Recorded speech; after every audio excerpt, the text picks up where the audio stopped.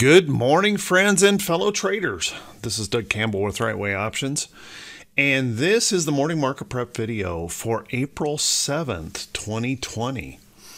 Yesterday, my goodness, my goodness, the Bulls got their act together, really rallying hard yesterday, just a relentless push to the upside as there was a little bit of warm and fuzzy um, in the news yesterday that the virus um, infection rate may be starting to flatten, and health officials are even um, talking about that a little bit this morning that we may be starting to see a light at the end of the tunnel. But what does that mean for the market? Let's um, settle in, let's grab ourselves something to drink, and let's prepare for the Tuesday edition of the Morning Market Prep video. So this morning we have, um, unfortunately, another major gap up, and and the reason I say unfortunately is these big wild gaps leave a lot of traders behind. As a matter of fact, what they it, it also creates is this um, general sense of fear of missing out. So yesterday we get an 800 point gap up. We're getting another one of those uh, this morning, which means that you know in just two days we have moved nearly 3,000 points here in the Dow.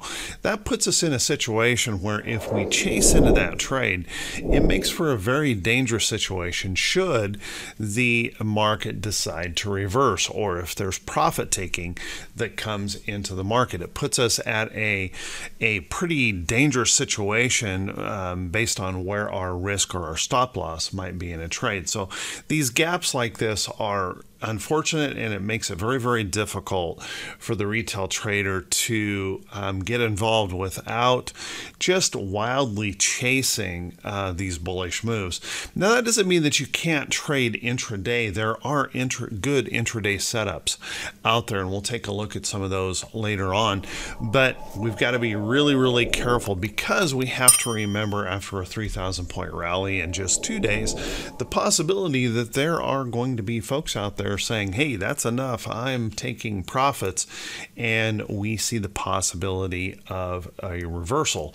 So kind of keep that in mind. It's a frustrating thing when we have this all or nothing market. We just whip back and forth and it does make it very dangerous. And I understand how frustrating that is for a lot of folks. It's frustrating for me because I am a real stickler about sticking to my discipline and my rules, my trading plan. And the last thing I want to do is chase high risk trades. So just keep that in mind as we take a look at some of the technicals here in this chart. Now, one of the positive signs that we have going on here, first off, we have now officially a higher low in the market. And yesterday we officially broke the downtrend here in the diamonds. The gap up this morning just pushes us up into more resistance in the chart. And You can see I'm going to move a line here, but you can see gapping up into this area, and I'm going to pull this back, push pushes us right up into a major price resistance here in the chart. That's one of the reasons why I'm cautioning folks to be really, really careful about chasing in this morning or uh, being caught up in that fear of missing out because we really could be reaching up into that area where sellers start coming in um, this morning. So watch that carefully. But pushing up into that resistance level in the chart. If we take a look at our averages, you can see we're pushing up there around that 34 EMA, which is a, a rebound area that is fairly common um, in the market, and we can see um, that become a little bit of a price resistance point. However, with the wild bullishness that we see in the market, is it possible we blast right on through there and continue higher? And I got to say, yes, there is that certain possibility of that. Even as the the the numbers continue to rise and our death toll um, will easily go over 11,000 today, and we may even reach 375,000 infections here in the United States, we still have a long road ahead of us. So be really careful in thinking that the all clear has been sounded. Remember, we have um, um, earnings just around the corner, and I just can't imagine we're going to start getting a lot of good earnings. So there will be those out there thinking, hey, I got this really nice quick move up. Now I'm going to start taking profits. And that's something to think about. And it may not happen today, but um, just kind of consider that that there may be some profit takers out there getting ready to pull the trigger on trades. But beautiful upside move here. Um, sad that we're gapping up and it's leaving these two great big gaps up, leaving a lot of retail traders behind um, on that move. Let's take a look at the SPY. SPY also gapping up this morning and I'll just take this line and we'll move it right up here to where we're meant to gap up this morning. And notice that we are gapping right up into a significant level of price resistance. So here again SPY gapping up into that price resistance in the chart. Um, substantial move higher in two days. Um, be careful. Um, the last thing we want to do is chase into this and get caught um, in that gap and see that reversal coming in. And once again, we're up there by that 34 EMA. So watch that pretty closely here this morning. Notice that our 50 day moving average is continuing to dive, uh, may easily be down below that 500 day moving average uh, by Friday. So just keep that in mind. There's still massive technical damage in these charts. And as we head into earnings, um, who knows what's actually going to happen. Just, just be careful not to chase or take um, crazy wild um, risk in this market with us moving so quickly and so violently. Let's take a look at uh, the Qs. QQQ QQQ moving up sharply here this morning, and this is actually going to be breaking out. Now, the NASDAQ has been the strongest index of the bunch by far, holding above its 500 day moving average, and you can see it is rallying and may try to break through its 200 day moving average today. And once again, we're going to be hitting into some resistance areas here in the chart. Notice that our 50 day moving average is still declining quite sharply and may create that resistance point here um, in this chart. So watch that carefully. If um, we happen to pop up there and pull back, um, we could set up a nice range of trading here. And the Qs um, doing much, much better than the other indexes uh, by far. The damage to those was substantially more than we're seeing here in the NASDAQ. Let's take a look at IWM. IWM. Um, rallied yesterday significantly, but you can see still has a long ways to go before this actually um, shows the kind of recovery that we're seeing in the other indexes. Um, gapping up this morning, and you can see we still have the resistance of last week's high that we will not defeat this morning. Um, in at least in the gap, we may rally on through that later on during the day, but certainly uh, massive damage here, and could be that warning that you know IWM is still kind of serving as that boat anchor that we're kind of dragging along here um, on these lows. So watch that close. Let's take a look at the VIX that VIX is finally getting a little bit of relief and pulling back. Um, we may approach this 50 day moving average here on the VIX here soon, and we're pulling back into those 40 handles, which is a nice sign. We're starting to see some of those options begin to calm down a little bit. They're still very wide bid ask spreads and very expensive options, but it is nice to see that we're settling in here just a bit. But with that in mind, just remember the more we pull back on this, the higher probability that we get another bounce or escalation of that if those uh, profit taking sellers come in. I think it would be pretty unwise to believe that we're going to see a V bottom pattern in this market with the impacts that we're going to experience um, in employment and all the different things across there. Even the SBA yesterday was struggling heavily trying um, keep up on their computers and stuff with uh, so many applications coming in for business loans, trying to hold on um, in this period of time. Lots of things happening here, lots of impacts. And just remember, our debt levels are now skyrocketing. There's a lot of things that could impede us from just zooming straight back up. So, kind of keep that in mind and um, and make sure you're staying very, very focused to price action and not just trading emotionally. Let's take a look at T2122. T2122 is the four week new high, new low ratio. And you can see um, yesterday we just shot straight up, and this morning the gap up means that we've kind of gone from a bullish reversal zone. We could easily be up here in the bearish reversal zone just um, you know at the open those two quick days um, extreme rally that's where we want to watch for that possibility of that little bit of a pullback some profit taking those kind of things in the market. So be careful not getting caught up in that fear of missing out and rushing in this morning into a trade right it might just be that big old trap that catches you in there and sellers come back into the market. So watch that carefully this morning and just really stay focused on that price action and the discipline of your trading plan. Let's take a look at our economic calendar for today. And our economic calendar has a couple things that we want to pay attention to here this morning. As you can see, we have the um, JOLTS report here this morning, um, job openings report who knows where that's going to come in if that's even uh, factored in all the different impacts around this but we'll want to keep an eye on that um, this morning. It's not one of those major market moving reports, but one we'll want to pay attention to. And then remember, it's actually fairly common. Now, this market is a long ways from being common, but um, it's actually fairly common that the market would then uh, would possibly calm as we head into the FOMC. The FOMC minutes release at 2 p.m. Eastern tomorrow. It's a fairly common thing that the market just becomes light and choppy ahead of that. Now, that may not be the situation today because of such tremendous emotion and such technical damage in these charts, but just kind of keep that in mind um, that that is coming along uh, for tomorrow. So watch that close.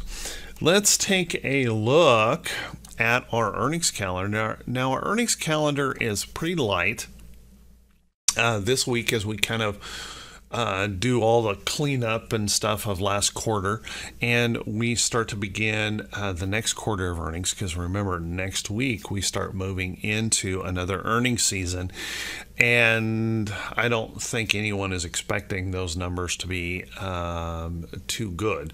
Um, it's possible that there's going to be some tech companies out there and things like that that could be very good, but remember, we're going to start out with the big banks, and we know that the banks are could could struggle just a little bit here um, in those reports. So we'll want to kind of keep that in mind as we move forward. But today we've got just over 20 companies reporting earnings, and um, none of them are uh, the kind of uh, companies that would be um, really market moving. But uh, two of them I pulled out as as kind of notable. CONN is reporting this morning. Um, little tiny stock. Um, obviously in a downtrend, could possibly be forming a double bottom pattern here. So watch this earnings report. There may be an opportunity here if that can come up. But this retail um, wouldn't exactly be a big market mover overall, but a bit notable here on the day. And the other one would be Levi. Levi's um, obviously very, very beat up in this market. They're gapping up this morning on their report, trying to move up here. Clearly still in a downtrend. There may be a value play in this move, but obviously an awful lot of work um, needs to occur for this to really, really recover. So, pretty ugly stuff out there still that we have to deal with in this market. And those are the only two that I could really come up with that were you know somewhat notable on the day. So with that, let's take a look at some of the stocks that could be setting up and places that you might look for some potential trades. But before we do, if you guys wouldn't mind if I could ask you for a favor, if you find these videos to be helpful, or um, hopefully you've noticed that these videos um, um, I, I try to stay away from all of the hype and all of the drama and really look at the technicals of the chart and kind of think about the things that could affect the market for today. And if that helps you in how you approach the market for the day, if you could do me a favor and click that subscribe button on YouTube and then also click that bell icon when it pops up so you can be notified every time I post one of these videos. Um, and if you feel the video is worthy, if you could please click that thumbs up button and leave a brief comment, that helps a lot in us continuing to go to grow. I apologize, I've been so busy the last few days, I haven't been able to answer many of those comments, but I will try to get to some of those today.